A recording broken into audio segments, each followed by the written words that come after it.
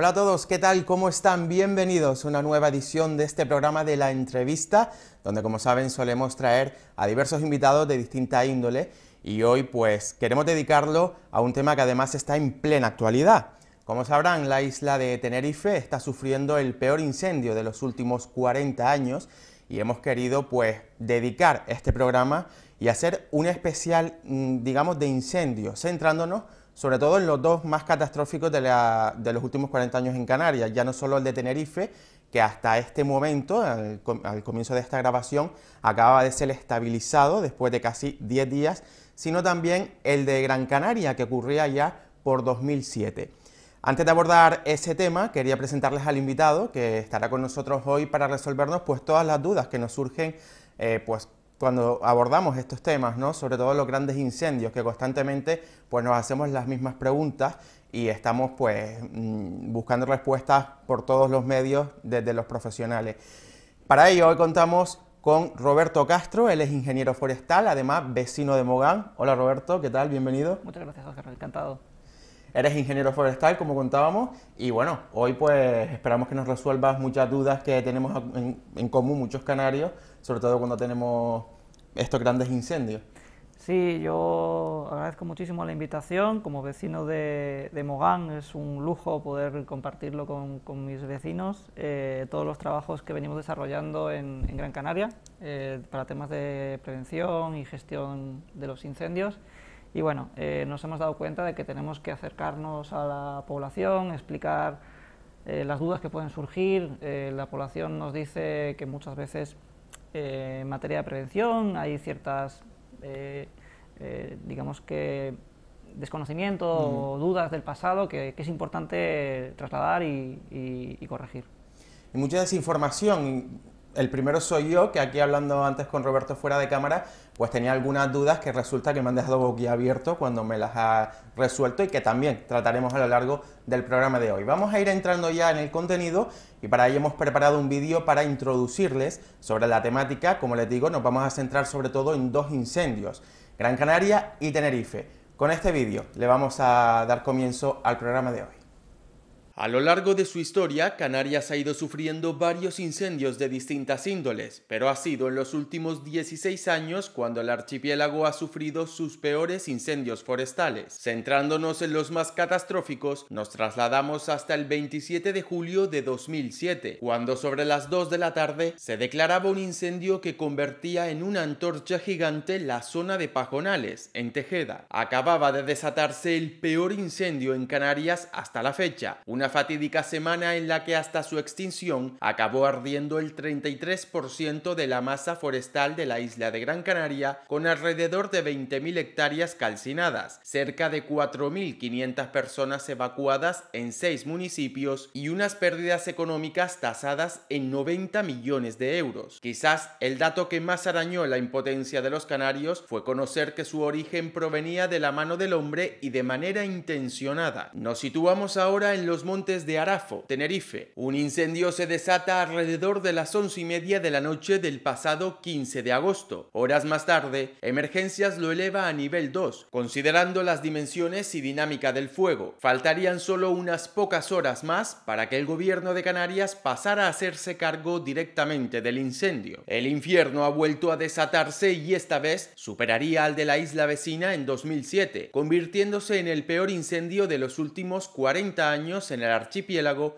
y el peor del año 2023 en España hasta el momento. Hasta la edición de este vídeo han pasado nueve días y aún se permanece a la espera de que en las próximas horas pueda darse por estabilizado. Nos encontramos ante un virulento y devastador fuego que ya ha calcinado 14.751 hectáreas en un perímetro de 90 kilómetros, viéndose afectados un total de 12 municipios y varios parques naturales entre los que destacan el mayor Parque Natural Protegido de Canarias, el Parque Natural de la Corona Forestal o el Parque Nacional del Teide. Todo ello supone alrededor del 7% de la superficie de la isla. Un total de 12.000 ciudadanos han sido evacuados y 3.109 aún permanecen lejos de sus casas. En los últimos días, el presidente en funciones del gobierno español ha visitado la zona afectada anunciando que será declarada zona catastrófica.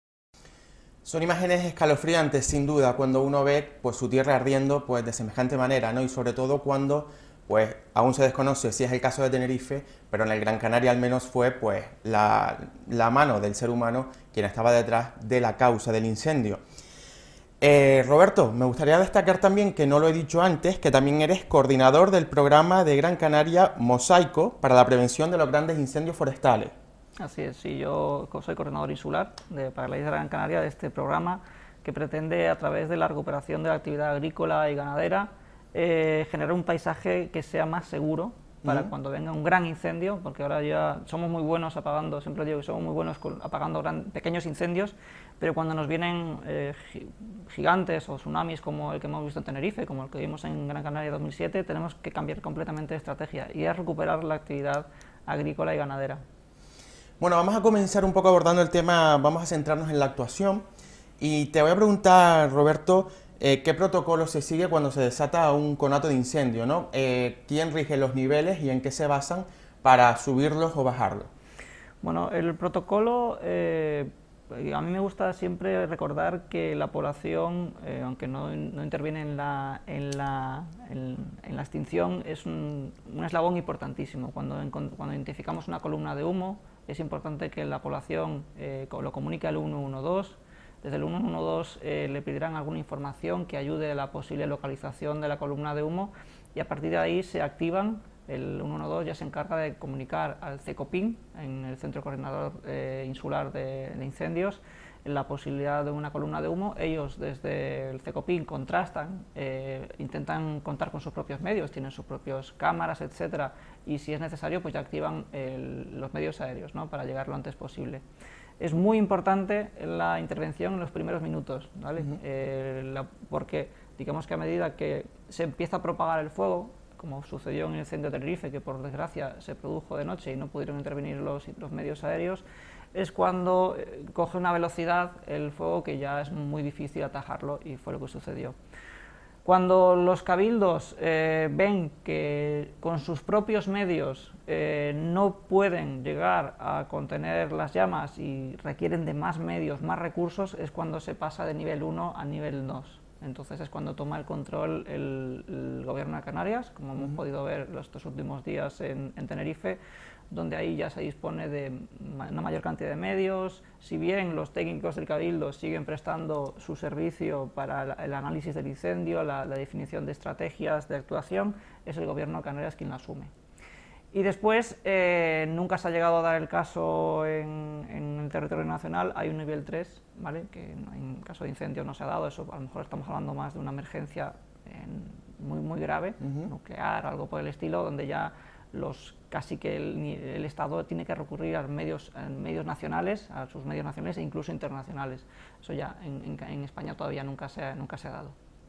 Que es muy difícil que eso también ocurra en, incendios de este tipo, por lo que vemos, ¿no? Porque a menudo solemos reclamar también desde la población cuando vemos que, o tenemos la impresión de que se desborda el incendio, de que el Estado pues lo suba de nivel y entre en acción. Pero eso no es tan fácil, ¿no? Eh, mm, eh, siempre decimos que a día de hoy los incendios se están volviendo más complejos no por la virulencia, sino por la, necesidad de tener que coordinar a todos los medios. Eh, en el incendio de Tenerife, por ejemplo, y en el de Gran Canaria de 2007 también hubo muchos medios, y bueno, no olvidemos el de 2019 que tuvimos hace cuatro años.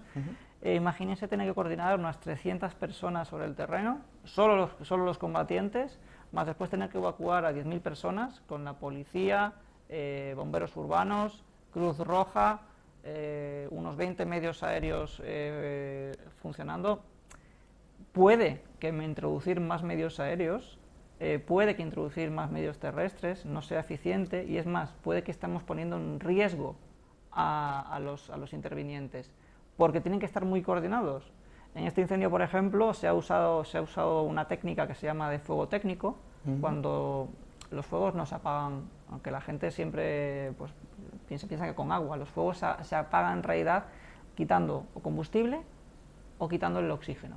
El agua en realidad lo único que hace es bajar la llama para que después los medios terrestres intenten sofocarlo y quitarle el oxígeno. Porque evidentemente con una llama de 2 o 3 metros, o, 10 o 15 que hemos llegado a ver, no, no, puedes actuar.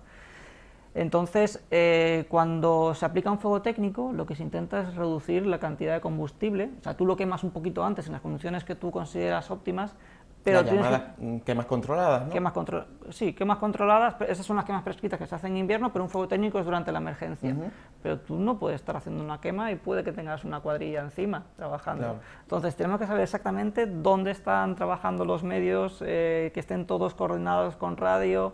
Fíjense que además, eh, que aparte creo que es un tema que me gustaría tratar, es que tenemos medios de la UME, tenemos medios de o sea, militares de emergencias, tenemos medios propios del Cabildo, tenemos medios propios del Estado, que son las BRIFOR, o sea, las, las, las BRIF, las Brigadas Forestales. Ahora tenemos unos medios propios del, Gobierno de Canarias que se llaman las EIRIF. Tenemos un amalgama de cascos de distintos colores, incluso algunos con distintos protocolos de trabajo, pues bienvenidos sean, ¿vale? Pero hay que coordinarlos.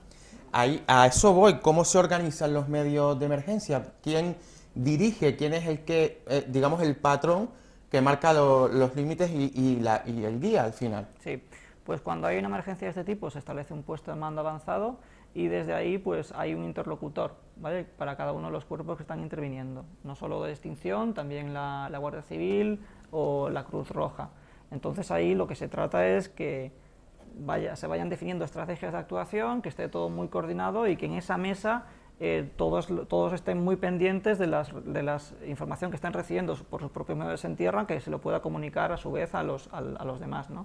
Entonces es muy importante el puesto de mando por esa labor de coordinación, que suele estar normalmente liderado por un director de la extinción, hay un funcionario eh, que asume la responsabilidad de la extinción y después una serie de, actores que, representando cada uno de los cuerpos de, de seguridad. ¿Y cómo se actúa para acorralar el fuego? Digamos, antes comentabas que realmente lo que se hace es pues quitar combustible, ¿no? Mm, lo llamaba. ¿Cómo se logra acorralar un incendio para intentar pues su propagación? Sí. Bueno, pues básicamente lo que siempre se suele atacar es por los flancos, ¿vale? Eh, un incendio, por ejemplo, eh, que podamos tener en una ladera, eh, normalmente el, fuego siempre va tendiendo a subir topográficamente, ladera arriba, entonces en, el frente es donde vamos a tener la mayor longitud de llama y no podemos actuar. Entonces intentamos actuar por los flancos. todo el mundo que haya trabajado, que ha hecho una, quema, pues sabemos cómo se comporta el fuego, ¿no? Entonces desde esos flancos es donde eh, normalmente se, utilizan los medios aéreos para intentar bajar lo máximo posible la llama eh, para que después las cuadrillas puedan ir con un apagafuegos o con herramientas manuales a, tratar de, apagarlo. ¿no? Entonces se, va perimetrando, se va controlando el fuego, intentando eh, irlo consolidando por los flancos. Después, el frente, lo que tenemos que intentar es hacer otro tipo de intervenciones para que cuando el frente llegue a una zona estratégica, podemos haber hecho previamente, ya no es un ataque directo, podemos haber hecho un ataque indirecto para que hayamos reducido la, la, la, vegetación o combustible disponible. Entonces ahí podemos tener un cambio de comportamiento, por lo tanto ya no tiene un comportamiento de cabeza, sino que tiene un comportamiento de flanco o de cola y por ahí volvemos a intentar atajarlo. Entonces se trata de irle metiendo pinzas al, al avance del fuego hasta que consigamos hacernos con él. ¿Y cómo ha llegado el de Tenerife? ¿Qué condiciones ha tenido que reunir? Porque se hablaba que los primeros días era muy voraz, era que prácticamente incontrolable, era una, fe, una, una fiera, llegaban incluso a decir. ¿Qué condiciones se reunieron para que ese fuego fuera tan descabellado? Porque su avance fue mm, inminente. El incendio de Tenerife eh, se dio lugar eh, un monte que lleva, bueno, pues se, se, reforestó. Los montes de los Altos de Candelaria, La Esperanza, se reforestaron hace 50, 60 años, ¿vale? Eh, con eh, una actuación del, del, Estado, unas grandes uh que se hicieron, también se hicieron aquí en Gran Canaria, y hubo zonas que en, esos 50 años no habían ardido nunca. Entonces, hubo zonas además que, que, antes había una cierta actividad agrícola ganadera, en el entorno, ganadera, pues había una recogida de pinocha y cada vez se ha ido abandonando esa actividad, pues la gente ha buscado el sustento en otros, en otros sectores y se ha ido acumulando el combustible. Tenemos acumulación de pinocha, acumulación de, matorral, etcétera.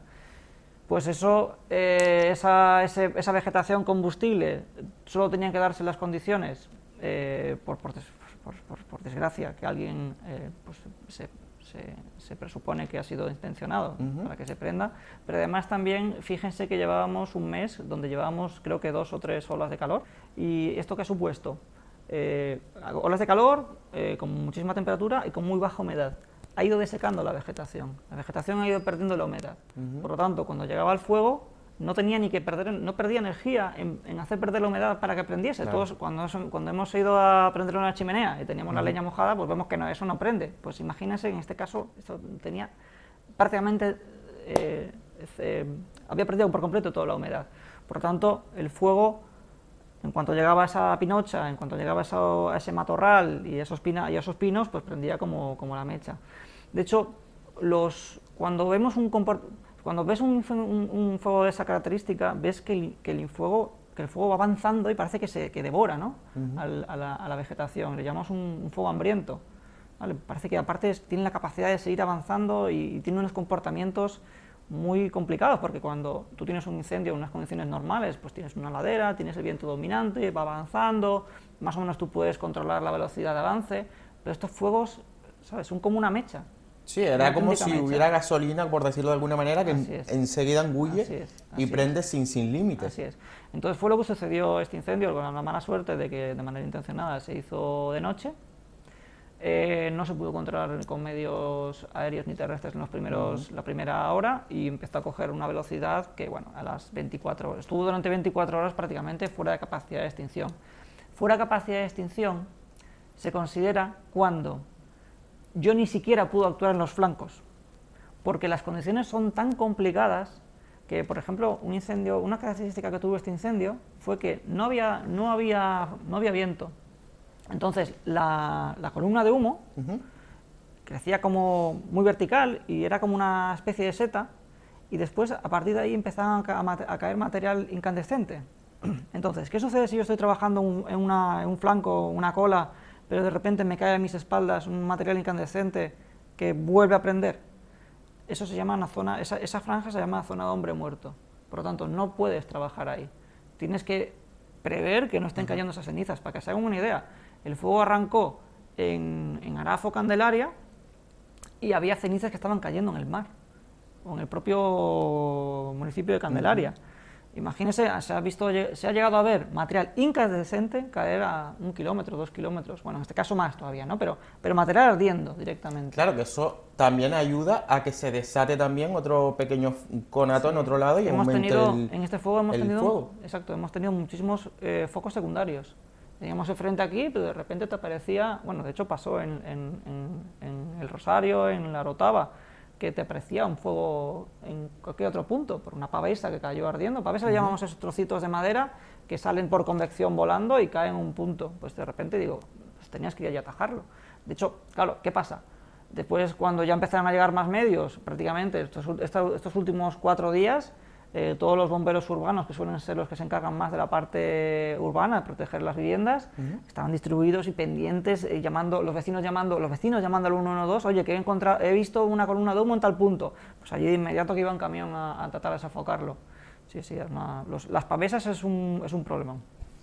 La verdad que controlar un incendio de estas dimensiones eh, debe de ser un desgaste mental y físico brutal, ¿no? llegar a tener la concentración y la mente fría para esos momentos donde permanentemente hay peligro por todas partes y tienes tú la responsabilidad de intentar atajar ese, ese, bueno, ese fuego, ese peligro, debe ser muy complicado. Sí, para que se hagan una idea, eh, lo que, a lo que se enfrenta en gasto calórico y de energía un bombero forestal en un incendio con estas características es como correr una etapa del tour.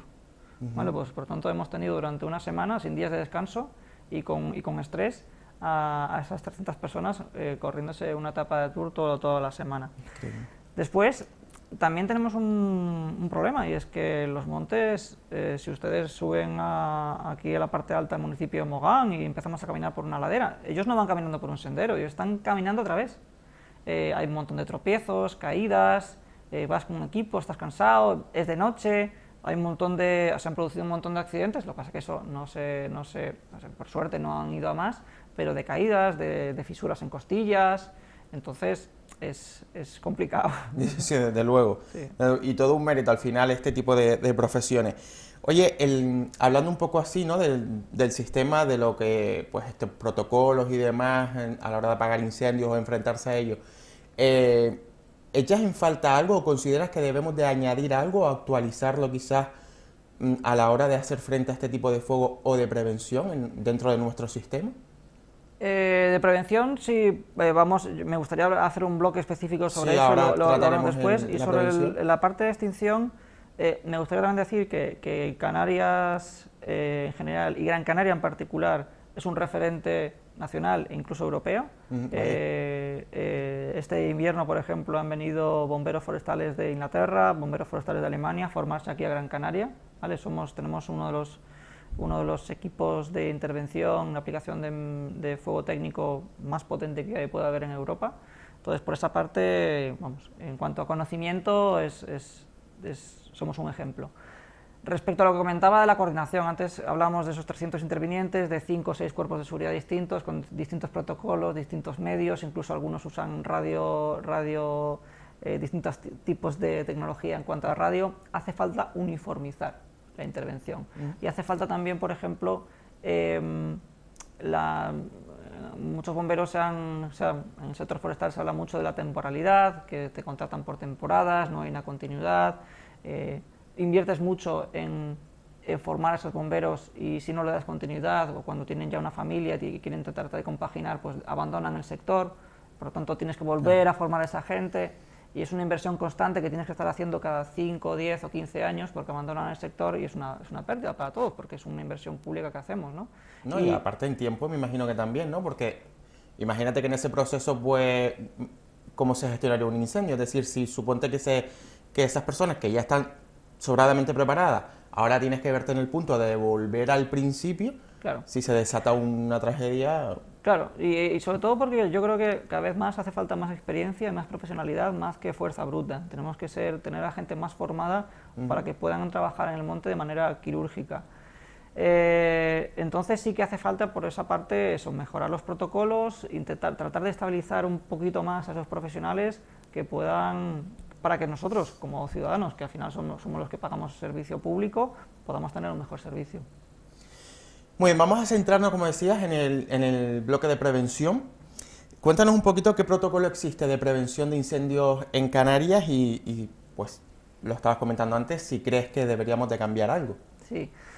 Bueno, yo lo que quiero transmitir es que la administración pública hace su función, ¿vale? Eh, a día de hoy pues se realizan tratamientos de limpieza, de gestión de la vegetación en distintas zonas, pero no debemos olvidar de que el territorio es muy amplio eh, y es muy diverso y, muy inaccesible en muchos casos. Entonces, bueno, la Administración hace su parte. Hay políticas que están haciendo ahora, por ejemplo, de combinar la actuación directamente de la Administración con el apoyo a agricultores y a ganaderos, ganadería extensiva, pastoreo, para que ir combinando de manera que entre los dos se consiga, fíjense, sector público, el sector privado, para tratar de mantener los, eh, las zonas gestionadas. Pero hay una, una labor importante que todos como ciudadanos que vivimos en el medio rural podemos hacer, que es la gestión, el entorno, la prevención en el entorno de nuestras viviendas.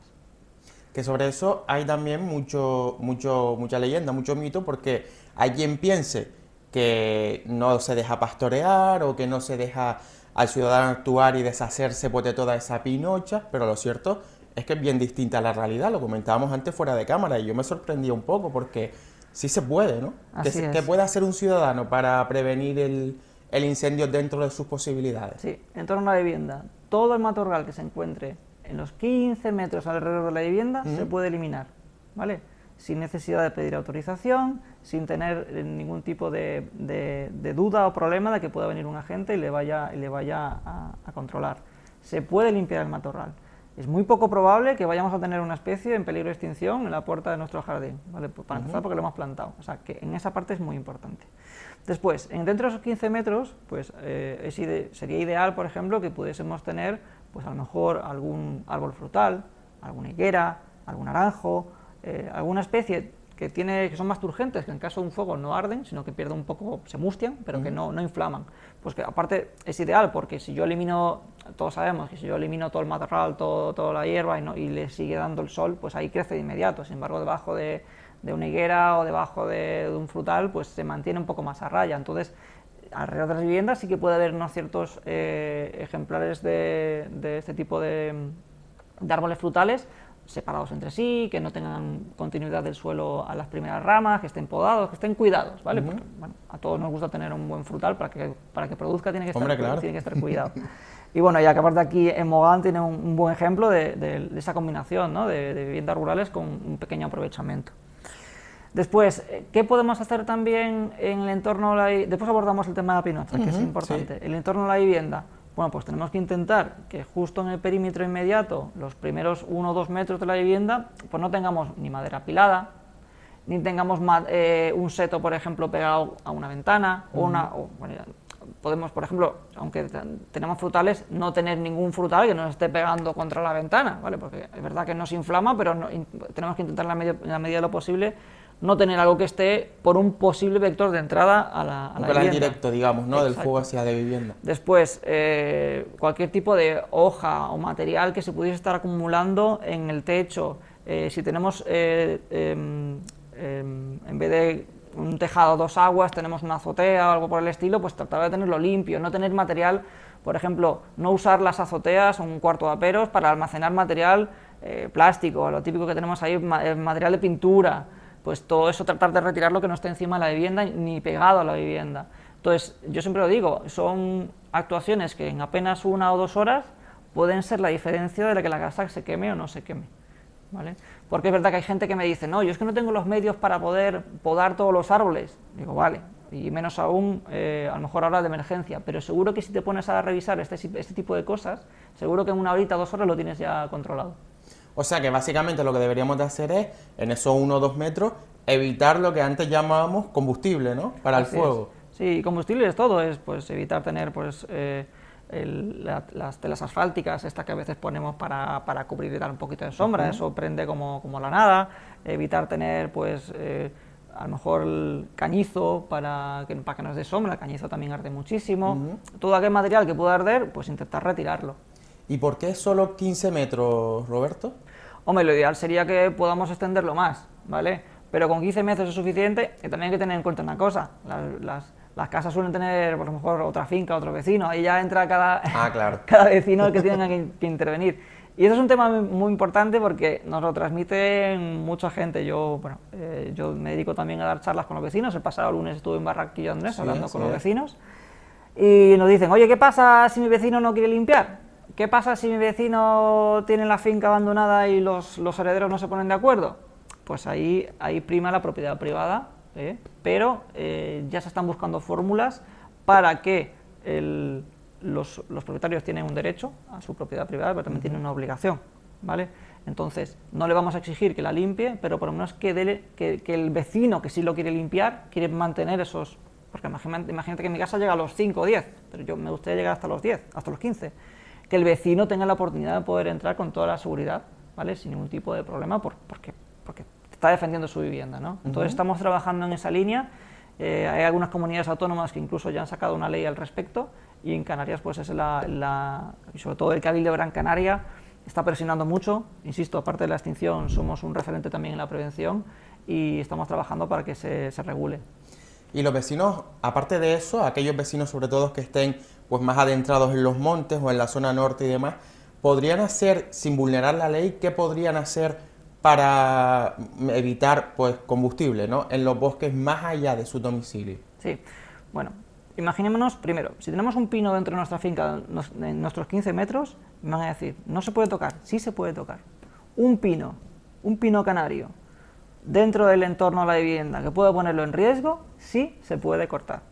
Esto me gustaría que quedase muy claro. Siempre que esté dentro de tu propiedad, digamos. Dentro, evidentemente, si yo lo que hablamos, si es un monte público, es un monte de otra persona, yo no puedo entrar a cortar. A cortar. Si se, a ver, si se trata de un árbol, pues evidentemente tendré que tener la autorización del propietario, ¿vale? Eso hay que tenerlo en cuenta. Pero si tengo un pino en mi propiedad, por supuesto que lo puedo cortar. Después, si tengo un pinar que ya está fuera de mi propiedad, que está muy denso, ¿vale? Que tuviese, que fuese necesario, pues aclarearlo, eliminar matorral, que fuese, que se abriese más y fuese más seguro. Estamos hablando de un pinar a lo mejor a 100 metros. Pues habría que ver quién es el propietario y si es la administración pública, requerir o a través del propio ayuntamiento que se intervenga y se claree y se, y se gestione. De hecho, el otro día en Barranquillo Andrés eh, yo me ofrecí a aquellos propietarios, porque muchos me transmitían, ¿no? ya no era tanto viviendas, sino fincas ¿no? que tenían. Yo me ofrecí a acompañarles y asesorarles para poder cómo saber cómo poder gestionar eso y de hecho estamos prestando el servicio de poder tramitar toda esa, toda esa, mm, esa documentación. Y no se trata de burocracia, se trata simplemente de hacer las cosas un poquito ordenadas. Era igual que cualquiera que quiera hacer una obra en el, en el municipio tiene que informar al ayuntamiento, etcétera, pues esto, esto lo mismo. Hay que llevar un orden, ¿no? Al final todo es normal. Sí, y desde luego que estamos poniéndoselo muy fácil para que, porque no todo el mundo a lo mejor se maneja con, con la burocracia, ¿no? Pero estamos intentando poner los medios para que sea más sencillo. Perfecto. Y después el tema de la pinocha. Ahí quería yo llegar. Sí. Porque, vamos a ver, primero, aquí hay varios temas, varios frentes abiertos. Se dice que, que bueno, como, como lo comentaba antes, que no se deja pastorear. No es cierto, sí se deja, ¿no? Pastoreo controlado, sí. Pastoreo controlado, ahora hablaremos de ello. La famosa pinocha, resulta que ejerce un, punto bastante importante en el medio, que por eso no se puede eliminar del todo. También, cuéntanos un poquito todo, todo ese embrollo. Lo primero, si un vecino quiere subir arriba a pajonales, presas a las niñas y coger un saco de pinocha y meterlo en el maletero, ¿lo puede hacer sin autorización. Lo puede hacer sin ningún problema, ¿vale? Lo puede hacer, puede subir y hacerlo. Si un vecino ya quiere subir para recoger un camión porque quiere usar esa pinocha para cama de ganado, estamos hablando de un camión, un cierto volumen, también lo puede hacer, gratuito. Simplemente tiene que pedir una autorización al Cabildo de Gran Canaria y el Cabildo de hecho le dirá exactamente dónde puede ir porque ellos tienen inventariado que hay más, más acumulación de pinocha. Y se le dará una autorización, incluso una autorización que podrá ir periódicamente a recogerla. Entonces sí se puede recoger pinocha. Y la función de la pinocha, a ver, la pinocha lo que ayuda es, hace de, impermeable, eh, retiene la humedad, para que cuando le dé la insolación pues no se, no se evapore. Además, es el, digamos que es el nido que tienen los invertebrados, los insectos, para sobrevivir que son la despensa de, los, de, los, de la avifauna, de los pajarillos, que también, por encima, los, los pájaros hacen una labor importantísima para la conservación del propio pinar y el ecosistema de pinar, que el pinar es mucho más que pino. ¿no? Entonces, claro, es un pequeño elemento que muchas veces pasa desapercibido, pero imaginémonoslo como una despensa. Pues si le, robamos toda la despensa, pues los pájaros no tienen dónde ir. Es increíble todos los detalles que se nos escapan al, pues, a los ciudadanos de a pie y básicamente por desinformación al final, ¿no? Porque no conocemos, pues, la función de, cada cosa o un mm. poco la naturaleza. Eh, hablando de las especies, antes de, entrar en el tema de medio ambiente, sí me gustaría preguntarte también algo que mm, a menudo surge cada vez que hay un incendio. La famosa base de hidroaviones en Canarias. ¿Realmente es necesaria? Y hay quien diga que no es viable. Eh, ¿Por qué? Bueno, en Canarias, por las condiciones de, orografía, eh, por las altas pendientes, porque muchos de los incendios se producen en zonas inaccesibles, lo más operativas son los helicópteros. ¿vale? Los aviones anfibios o hidroaviones eh, cumplen una función más de refresco, donde sobre todo en grandes incendios, en el 90%, 90 de los incendios que tenemos, pasa que solo nos, solo solo vemos los grandes, ¿no? pero hay muchísimos otros pequeños incendios donde el, anfibio ni siquiera podría haber operado, ¿vale? no, no, hubiese sido operativo. ¿Y qué es lo que exigimos eh, en los forestales? Que, bueno, al final son esos aviones, hay que comprarlos a los canadienses que vienen de Canadá, hay que mantener una base de hidroaviones en Canarias y bueno, eso tiene un coste. Por lo tanto, eh, ¿queremos, ¿Queremos aviones anfibios? Sí, tardan apenas tres horas, cuatro horas en llegar desde la península. Cuando se dé el caso del incendio donde necesitemos en ciertas zonas refrescar. Por tanto, van a venir, siempre van a venir. Hay cinco ahora mismo en Tenerife, ¿vale? Ayudando a las labores de, de estabilización del incendio. El coste de una base de hidroaviones son 40 millones. ¿vale? Entre la compra del, aparato más el mantenimiento de... Hay que, esos, aparatos tienen un, requieren de un mantenimiento, tienes que tener un equipo de mantenimiento y, después la tripulación. Con un, con un anfibio podríamos tener 8 helicópteros, ¿vale? que es más o menos lo que ya tenemos tendríamos el doble de helicópteros. Imagínense pues, la, operativa que podríamos tener. Los helicópteros son mucho más versátiles, eh, llegan a cualquier lugar, transportan a las cuadrillas. Antes le comentaba, los fuegos, los, medios aéreos no apagan los fuegos, los medios aéreos rebajan la llama para que después las cuadrillas puedan acabar de sofocarlo. Y los helicópteros normalmente llevan una cuadrilla ali transportada. El helicóptero se activa, llega al lugar, eh, en vez de tener que llegar por todo terreno, deja allí la cuadrilla lo más cerca posible, eh, de inmediato le sueltan el Bambi, que es eso que ven debajo del helicóptero, y el avión y el, helicóptero ya se va a recargar al, depósito que tenga más cercano, mientras ellos ya empiezan a organizar todo el tajo. Entonces los, helicópteros son mucho más versátiles. Pero además, de, podríamos optar por, esos ocho helicópteros o no, a nosotros los forestales, como esos 40 millones, se podría hacer mucho para tratar de recuperar la actividad agrícola ganadera, que es otro tema que me gustaría abordar, eh, para poner más recursos a los agricultores, facilitarles las tareas administrativas, antes que hablamos de la burocracia. Yo prefiero destinar esos 40 millones a, recuperar nuestra actividad agrícola y ganadera que, tener un, avión anfibio que yo la, gente de Las Palmas lo disfrutará mucho cuando vienen a cargar y descargar, es un espectáculo, pero yo la verdad que prefiero que esos 40 millones vayan a nuestros agricultores y ganaderos, que son los custodios, en el caso de, de, Mogán, Barranquilla Andrés, Soria, eh, Beneguera, que son nuestros custodios ¿vale? de, nuestras medianías en el municipio y en otros municipios de la isla, entonces yo prefiero que esos recursos vayan para ellos. Bueno, que al final invertir más en, en prevención, que es al final la llave que evita el incendio, digamos, ¿no? y que bueno, pues ya ven que al final tener una base de hidroaviones pues no parece que rente mucho ni, ni a nivel económico ni cuando se produce el incendio. Al final pues parece que estamos mejor dotados de lo que pensábamos o pensamos muchos ciudadanos. ¿no? Mm. Bueno, ahora eh, que me gustaría tratar ya para ir finalizando el tema del, medio ambiente, ¿no? Cómo afecta el fuego a las especies y mm, tanto flora y fauna y al medio en general. Para ello también hemos preparado un pequeño vídeo de introducción que me gustaría que vieran a continuación antes de resolver todas las dudas y estas últimas preguntas ya de la entrevista de hoy. El impacto ambiental es sin duda uno de los factores más importantes a tener en cuenta cuando surge un incendio. Las islas poseen importantes parques naturales que se han visto afectados por el fuego y por ende han amenazado varias especies de la flora y fauna autóctona de Canarias. En el caso de Gran Canaria en 2007, afectó al pinar y al bosque termófilo que se desarrolla en una cota inferior y está compuesto por un mayor número de especies de árboles, principalmente palmeras. Cerca de 24 especies de flora y fauna se encontraron al borde de la extinción tras el incendio. Por ejemplo, la jarilla de Inagua, una salvia y dos variedades de turnero peludo, de los que se estimaron que se hayan perdido hasta el 75% de los individuos. Peor fue el caso del pinzón azul de Gran Canaria, que con apenas 200 vio afectado su hábitat en un 95%. En cuanto a la isla de Tenerife, aún es pronto para evaluar los daños, aunque ya nos podemos hacer una idea del desastre. Se han visto afectados, entre otros, el Parque Nacional del Teide y el Parque Natural de la Corona Forestal. Este último es el mayor espacio natural protegido de Canarias y donde ardían 46,6 hectáreas de un total de 50.000. Una zona rica en biodiversidad y el refugio de muchas especies propias de la zona que están viendo destruido su hábitat. Roberto, pregunta obligatoria ah, para pasar ya este bloque, que es una de las preguntas que más nos hacemos. ¿Cuánto tiempo realmente tiene que pasar para volver a ver nuestros paisajes en pleno esplendor tal y como lo conocíamos? Me gusta mucho que hagas esa pregunta porque una cosa es el paisaje y otra cosa es el, ecosistema. Exacto. El paisaje puede tardar, pues eso, cuatro, cinco, seis años, ¿vale? Porque el pino canario tiene la capacidad de volver, como todos saben, de, de volver a brotar. Pero el pinar no es solo el pino.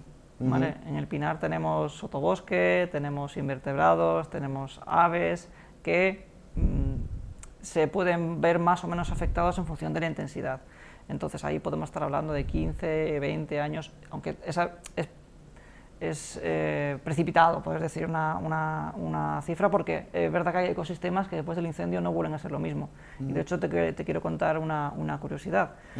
Eh, todos conocemos el pinzón azul de Gran Canaria, que es una especie única en el mundo, que tenemos eh, aquí en los montes de Mogán, en, Inagua, que tenemos el, el, lujo. y se dio una particularidad.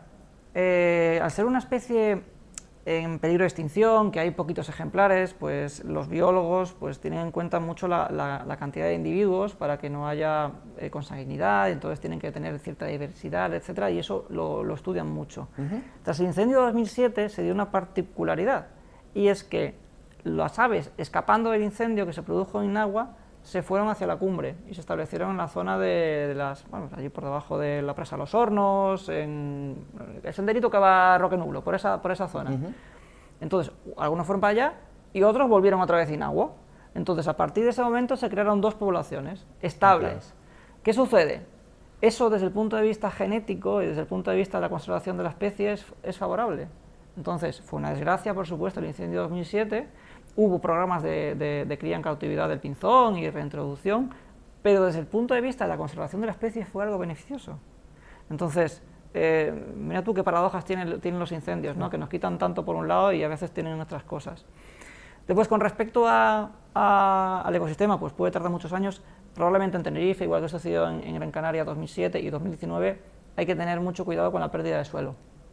Ahora lo, más importante es ante unas posibles lluvias eh, muy fuertes, que, toda esa tierra que se ha quedado sin protección, sin pinocha, sin matorral, sin, incluso sin, las acículas de los árboles que pueden evitar que la lluvia caiga directamente, ¿no? que impacte contra el suelo, porque son goterones a veces, eh, pues evitar que eso se arrastre y acabe pues, eh, yéndose al mar, ¿no? porque son al final tierras pues tierras ricas que cuestan muchísimos años que, se, que sean productivas. Entonces tenemos que evitar que se pierdan, todas las, actuaciones irán por ahí. Y, bueno, tanto el servicio de biodiversidad, en el caso de Tenerife, pues iría haciendo un control y muestreos de cómo va evolucionando la vegetación. Y son, claro, son 15.000 hectáreas, es muchísimo. ¿Y qué especies son las que más, hablando ya un poco de las especies, cuáles son las que más se han visto afectadas, pues por ejemplo, tras estos incendios de Gran Canaria y ahora reciente, aunque ya es un poco temprano, de Tenerife? Pues, por ejemplo, en Tenerife, eh, lo que más se va a ver afectado van a ser los retamares. Eh, yo no sé si han visto las imágenes del astrofísico, de donde están los observatorios y los telescopios. Eh, ahí los retamares de cumbre son una especie muy particular que ahí se habla que puede llevarle hasta 50 años recuperarse. O sea, porque son, son, son ecosistemas muy, imagínense, las, las condiciones de temperatura, de, insolación, son condiciones muy difíciles para, desarrollarse esos retamares y seguramente harán intervenciones de repoblación, pero los retamares en la cumbre del Teide ya venían sufriendo bastante en los últimos años y le va a costar mucho recuperarse, muchísimo. ¿Y para ese tipo de casos existen proyectos, mm, pues no sé, el Cabildo, el Gobierno, para volver a luchar por ese tipo de especies y volver a regenerar el, el ecosistema? Sí. El pinar eh, se va a recuperar, va a rebrotar y, bueno, habrá que hacerle seguimiento, pero en muchos casos se va a recuperar por sí mismo. En el caso de retamar sí que va a haber que intervenir, sí que se va a tener que hacer alguna intervención. En el caso de, por ejemplo, Gran Canaria en 2019 o Gran Canaria en 2007, eh, bueno, aquí en el 2007 fue, fue un pinar de sur, y ustedes lo, lo, recuerdan bien, eh, pues ahí poco se tuvo que, hacer de reforestación. El, pinar, incluso después lo que sucede tras un incendio es que tienes un banco de semillas que vuelven a, que germinan, ¿no? Entonces hace que sea un proceso de, renovación. En el incendio de 2000 Gran Canaria de 2019, por ejemplo, sí que hubo que intervenir porque muchos de los pinos que se quemaron son pinos foráneos, pinos radiata, unos pinos que se trajeron del oeste de, Norteamérica, México y California de rápido crecimiento que se plantaron aquí los años 50-60. Eso sí que se tuvieron que talar y, plantar sobre todo monteverde de transición, eh, porque estaban plantados en zonas de, de, monteverde fallal. Pero por lo demás, en caso de, Tenerife, eso, la mayoría del pino, del pinar, se va a recuperar bien eh, y sobre todo intervendrán más en esa zona de, de retamar, de cumbre. ¿Y cómo se ha alterado, cómo se ha visto alterado el ecosistema, ya no solo en Gran Canaria, sino también en Tenerife, bueno, en general en las islas, tras estos importantes incendios? ¿Hay alguna característica importante, algo sobre lo que haya que trabajar especialmente?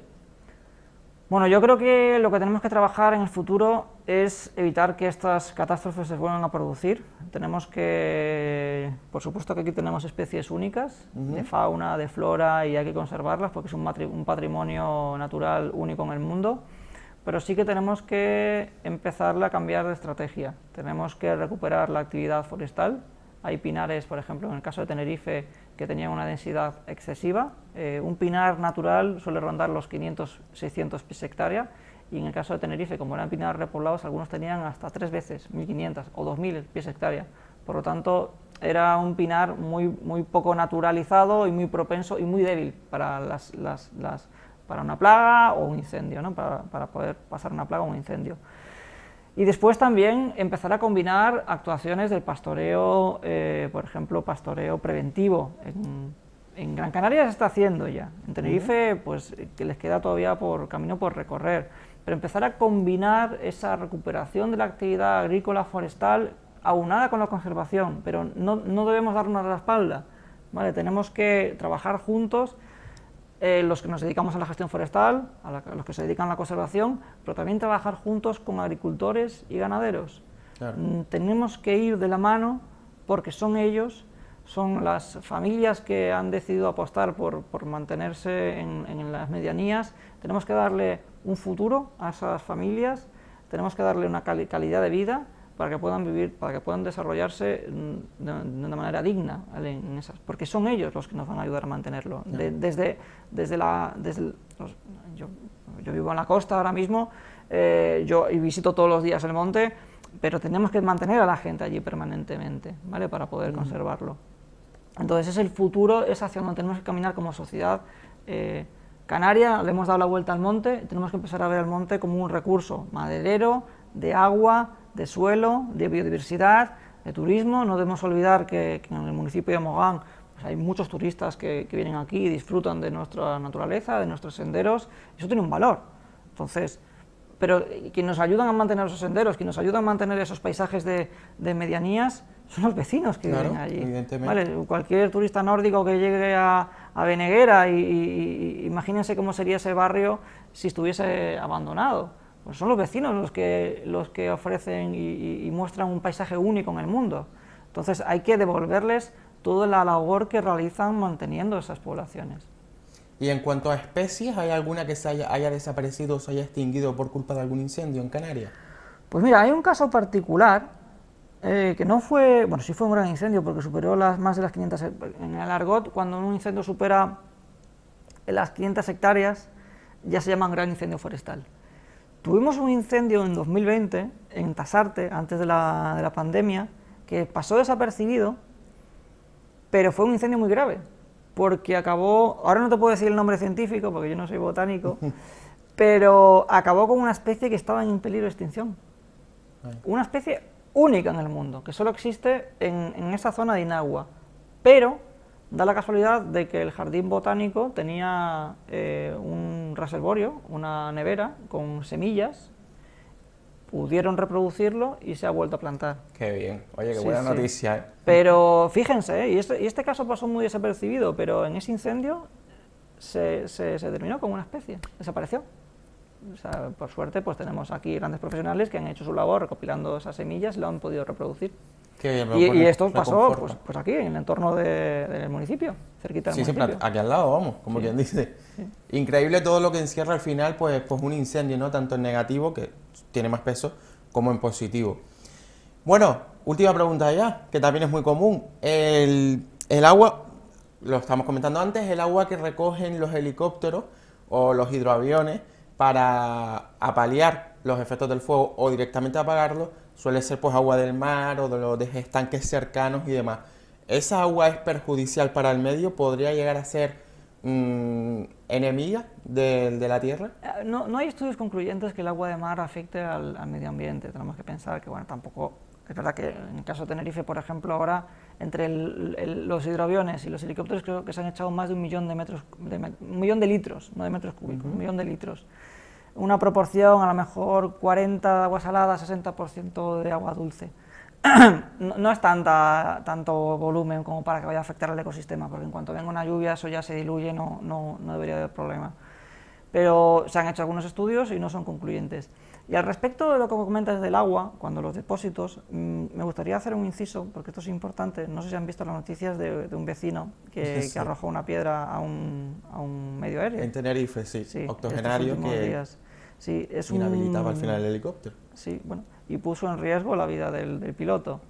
Eh, por, por, suerte no pasó nada, por suerte esa persona, esa persona ha sido detenida, pero ya, puesta, ya ha sido puesta en libertad. Y bueno, yo desde luego que hay que entender la situación en la cual se puede encontrar un agricultor, eh, que puede haber perdida la cosecha de este año, nos encontramos en una emergencia, es lo que hay que transmitir. Pero también me gustaría transmitir que la administración pública, cada vez que un helicóptero va a repostar a un depósito, se marca la posición del depósito, se mide la cantidad de agua consumida y se le, se le devuelve al agricultor. Entonces, ah, por supuestísimo. Siempre se va a devolver el agua y se va a hacer todo lo posible para que sea en, lo menor en, el menor tiempo posible, porque evidentemente si en ola de calor no podemos dejar el, depósito a cero, se va a intentar reponer lo antes posible ese agua. Entonces me gustaría transmitir a aquellos propietarios que tengan alguna balsa, algún depósito, en caso de que, por, esperemos que no, eh, nos veamos con un incendio. Bueno, aquí tuvimos un, un conato en tuvimos un conato en el, en el mes de en, Soria este, esta primavera, tuvimos un conato. En este caso creo que fue a cargar a las niñas eh, y de ahí estaban cargando y descargando, pero me gustaría transmitir eso, ¿no? que, que, la Administración le volver a esos agricultores el, agua que tengan almacenada. Yo en el, en el, incidente este, pues yo me gustaría pensar que bueno, se ha tratado de un octogenario, ya pues preso también del pánico y demás, lo considero un hecho aislado. Sí. Pero si bien es cierto que, que, como dices tú, pues en esos casos convendría pues llamar a la calma, centrarse y, al final priorizar la emergencia. ¿no? Sí, yo también recomiendo, bueno, yo creo que el comportamiento de la población ha sido ejemplar en este incendio, lo está siendo en todos los incendios que estamos teniendo. Yo recomiendo mucho que también sigan a las fuentes oficiales, eh, en el caso que se produzca una emergencia, sigan a las fuentes oficiales del municipio de Mogán, que podrán informarles, del Cabildo de Gran Canaria o el Gobierno de Canarias, que intenten en la medida posible eh, no, no, no, creerse cualquier bulo que no venga ratificado por, este, por los medios oficiales. Pues dicho queda. Pues muy bien, Roberto, llegamos ya al final de, la entrevista por hoy. Darte las gracias por todo este aporte de conocimiento que nos ha brindado en este programa, por venir a, esta entrevista. Y bueno, esperamos verte en más ocasiones por aquí. Hay bastante tema que tratar, Un placer. sobre todo en, en varias cuestiones, ya no solo los incendios. También me gustaría hablar un día, pues ya aprovecho aquí ante los espectadores, de ese proyecto que comentábamos antes del programa Gran Canaria Mosaico, que es muy importante al final que todos los vecinos que se puedan ver amenazados por las condiciones en donde viven o los sitios donde viven, pues sepan actuar ante un incendio, porque como comentaba, al final son los vecinos residentes en barrios y montes los primeros que, que pues avisan del incendio y los que conviven a diario con, el medio.